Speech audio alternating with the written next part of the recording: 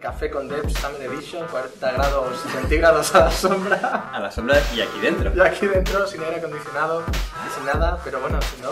Encantado de venir Sí, aquí. ¿no? aunque sea sudando. Exacto. Bueno. Bueno, David, el caso es que, que, bueno, ya tienes una edad. ya tienes una edad, quiero decir que llevas muchos años ¿no? en esto del desarrollo, tú ya con la bota, de, ¿cómo que la edad, cabrón? no, pero que llevas muchos años el tema de la programación, pero tú nunca, o sea, al principio no eras programador. No era programador. ¿Y cómo fue ese cambio? Yo a día de hoy estoy trabajando aquí en Adevinta como JavaScript Engineer, Ujú. pero digamos que son los últimos cinco años, pero a todo esto me he reinventado unas cuantas veces, ¿no? Eras animador. Era... ¿A ti te encanta hablar del tema de Flash? Sí, hablaba de. Flash, de hecho me gané un buen mote. Ah, sí, hay un mote. Hay un mote, ¿De qué era el mote. Me llamaban Timeline Carter. Timeline Card. Porque los timelines que yo manejaba en aquella época eran realmente extremos. ¿no?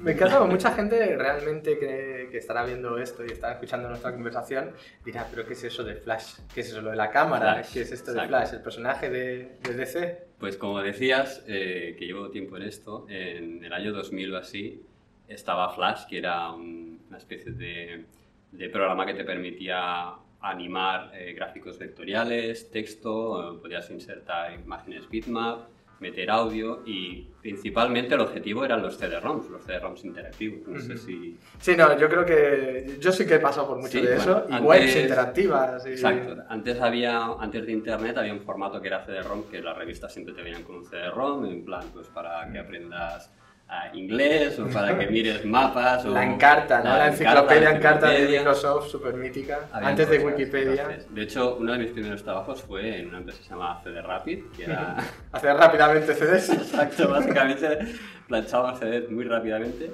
y se hacían con Director, Macromedia Director, Ujú. y con Authorware, que era otro, otro programa que también hacía CDs. Y Flash salió como una especie para cubrir el gap, ¿no? De todos los que estaban haciendo, eh, creando contenidos interactivos en CD-ROM pues para que se pudieran llevar ese expertise a, Claro. a la web, ¿no? Estamos hablando de cuántos años hace esto ya. Bueno, yo empecé en el 99 a hacer estas Es cosas. que ya, ya ha llovido, ¿eh? Sí, sí, sí. En aquella época, para que la gente lo entienda, sobre todo mucha gente que debe ser más joven, ¿no? y ya ha empezado en el mundo de Internet y la programación web, y ah, bueno, se puede animarlo con CSS. Claro, pero en aquella época Exacto. con CSS no se podía animar casi que nada. Realmente, en, en aquella época, para que os hagáis una idea del punto en el que estábamos, había, por un lado, teníamos a lo que era la versión anterior a Firefox, que era Netscape directamente, y Netscape tenía JavaScript, que fueron un poco ellos los, los que lo inventaron, pero luego en aquella época también estaba Microsoft, que tenía su propia versión de. JavaScript, que Sí. era JScript. JavaScript, ¿eh? Un poquito... Ahí. no sé dónde has parecido esto. Sí, ahí para poco para las que no lo sepan, había una lucha de navegadores que intentaban pues llevarse un poco a los usuarios a su terreno. ¿no? Entonces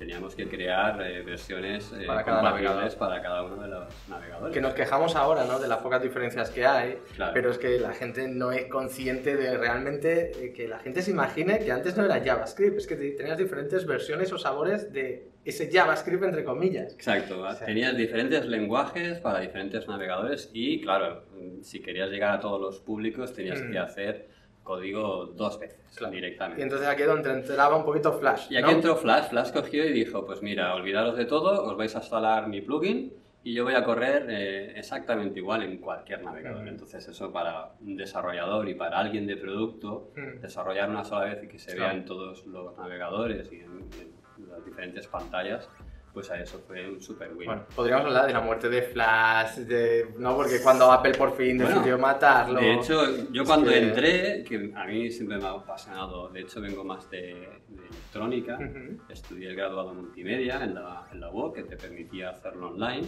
Y a pesar de que hacíamos de todo, hacíamos vídeo, gráficos, manipulación de gráficos y todo esto, eh, Flash lo que te permitía era meter todas estas cosas juntas, vídeo, gráfico, audio, etcétera, y crear un producto. ¿no? Entonces, yo en ese nicho me sentía súper cómodo Luego, ya más tarde, vi que tenía ActionScript y que podía dejar el timeline de lado. De lado y quitarte todo de encima. Exacto, empecé a programar y vi que se podían hacer cosas aún más potentes. Y ahí es donde me entró el gusanillo, ¿no? Realmente. De programar. ¿no? Porque ActionScript era lo más parecido a JavaScript en cuanto a que se tenía que programar. De hecho, el, hecho de que se llame ActionScript no es casualidad, sino que es un heredero del ECMAScript. Eh, viene a ser la misma sintaxis que tenemos en JavaScript. Claro, o sea que se parece mucho, o sea que el salto era un poquito más natural, ¿no? O sea, una vez que ya sabes ActionScript, pasar a JavaScript era un poco, bueno, las estructuras eran muy parecidas, la sintaxis de punto la tenías igual, las arrays, las funciones, la definición de variables, era, los scopes, era todo muy parecido pero no teníamos el DOM, teníamos el, objeto MovieClip. Y el, timeline ahí para mover cosas. Exacto, el MovieClip dentro tenía pues... ¿Echas de menos, David, esos tiempos? Eh, no, la verdad es que no. Soy nostálgico por naturaleza. Soy nostálgico y me gustó mucho esa época, guardo muchísimos buenos recuerdos. Eh, y además, pues, eh, trabajar en una agencia de publicidad mm. era también muy interesante, era, era otra época, ¿no? Era la época esa en la que no te importa echarle un montón de horas a algo, de acostarte agotadísimo y despertarte y decir, ostras, ¿y si lo pruebo así? Bueno, eso me pasa ahora, ¿eh? Eso, es una cosa que me pasa ahora. A mí ya no, yo ya tengo 40 y algo. ahora me despierto y digo, ¿y si lo pruebo? Mañana lo pruebo. Mañana. Otro día. Está bien. Ya no me Entonces, ¿qué le dirías a esa gente, sobre todo mucha gente ahora que viene de UX o incluso de, de, UI, de animación, ¿no? que a lo mejor se quedó un poco en aquella época que hay mucha gente que le ha pasado, o de la maquetación, ¿Qué le dirías, ¿no? como para dar el salto, si algún consejo para toda esta gente? El único consejo es que si, si, te, ah, si te apasiona lo que haces, que, que no, te lo, no te lo pienses, que no dudes.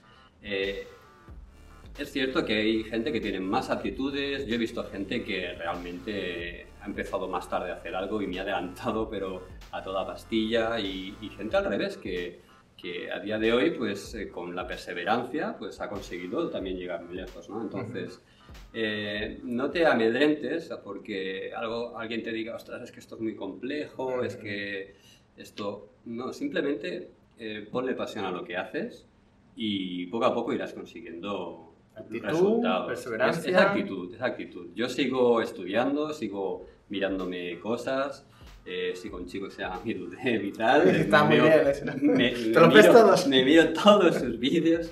Eh, la verdad es que no paro de aprender. Entonces, para mí creo que ese es el secreto. ¿no? Hay gente que se piensa que, que a lo mejor ya sabemos todo y que, y que ah, mira, estos eh, trabajan en la llena de Vint, a lo mejor son expertos. No, la verdad es que hay un camino, ¿no? Detrás aprendiendo, de siguen saliendo cosas nuevas. Sí que es cierto que hacemos algunos sacrificios ¿no? a nivel personal. O sea, cuando llegas a casa, pues no siempre me miro Netflix o no siempre me voy a dar una vuelta con la bici ni nada de eso, sino que hay veces que toca pues, mirar ah, cosas, eh, estudiar o un fin de semana o cosas así.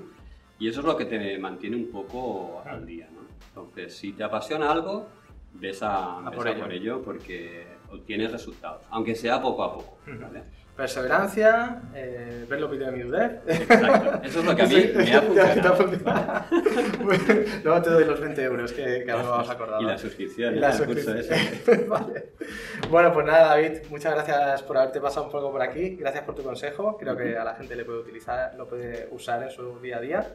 Y nada, pues sigue dándole al frontend, ¿no? Encantado de estar aquí y nada, seguiremos dándole al frontend. Muy, Muy